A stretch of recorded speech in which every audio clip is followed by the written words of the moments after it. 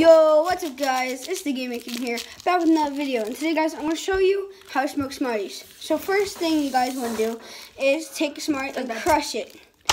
So I already have one crushed, and this is your this is what your final product should look like.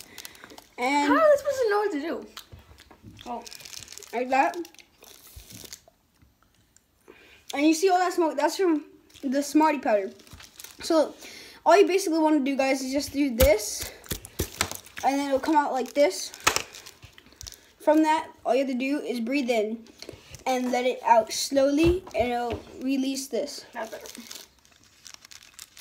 So I hope you enjoyed this video. Go check my trying hot, flaming hot Chicos. Chicos? Yeah, have your Chicos. Chicos? it sounds like Chicos. I know. Over here. And make sure you, subscribe to me up there. So I hope you enjoyed this video. Don't forget to like, comment, subscribe. Peace.